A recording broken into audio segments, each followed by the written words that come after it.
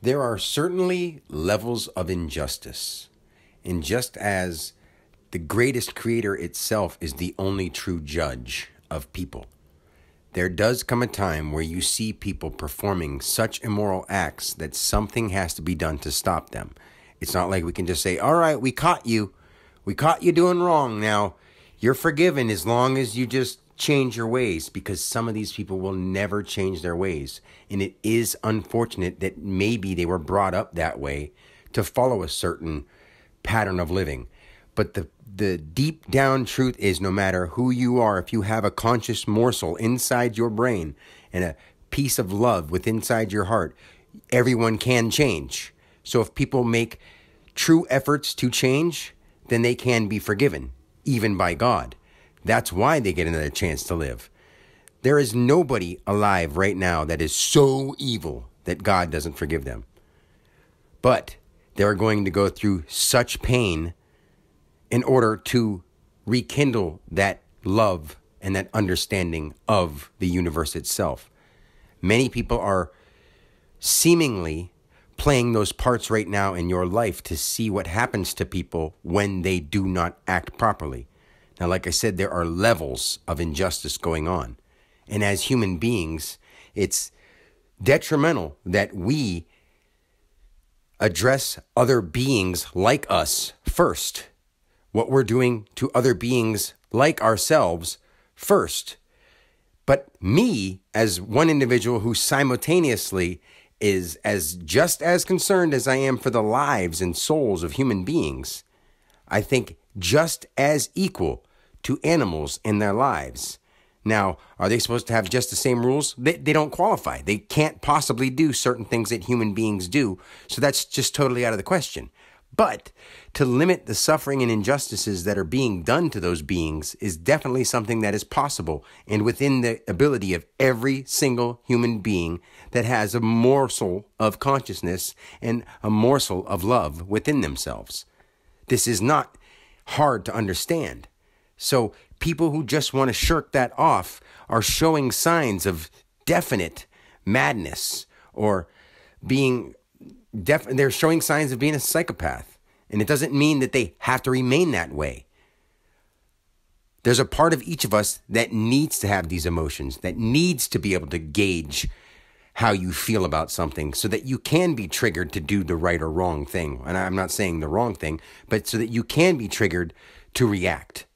And sometimes it may be the wrong thing because you act out of emotions that aren't in control. Now, if you can come from a place that's in control and nobody's expecting everyone to be 100% in control at all times, but the more and more you learn how to control yourself, your actions, your mind, your thoughts, all of those things, your words, the things that you say, even when you're angry, those things are so important. And in order to affect the world around us, we have to definitely start with ourselves, but then we have to reach out. We have to put that out there in the world because that's how things are spoken into existence. That's how things are acted into existence. This isn't just, you know, God's wish for humanity. This isn't just God's doing because governments and world leaders are deciding to kill off their population. Just think about it this way if there's not enough room for people, but they're still going to keep eating meat.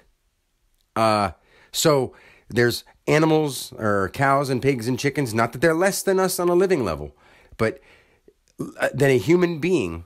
If you can cooperate with nature at a level where you're sustaining yourself and you're doing more good for nature or staying neutral with nature, there's nothing wrong with that. Why would you not be able to stay? But there are, are also beings out there who these levels of injustice that I'm speaking about, they definitely take advantage of other beings, whether they're humans, whether they're animals, whether they're nature itself. And those things need to be stood up to. So, like I've said more than one time in this specific conversation, there are levels of injustice, and we have to start with ourself and think about what we're actually putting out into the world. And don't just go, yeah, I'm allowed to do whatever I want. Because that is a spoiled mentality that every person has to somehow work through. You may not even do it this lifetime, but if you're hearing me say this and somebody led you to this, it wasn't just a coincidence. It wasn't just because you weren't meant to hear it. It's because you're meant to understand that you are the universe learning these lessons, and some of them are so hard. One of the hardest ones is after you understand it and then speaking it to others and showing them, even though it makes them uncomfortable, because you don't want to hurt them. You do love them, but the way that you teach them because you love them is to show them things that may hurt them. Now, that seems like such a catch 22, but it is. Once you understand what we're doing here, it takes a lot of pain. And through that pain, you can tr- really develop true love for your fellow human being, for your fellow beings, period, for nature and for God. So, until next time, bless you all.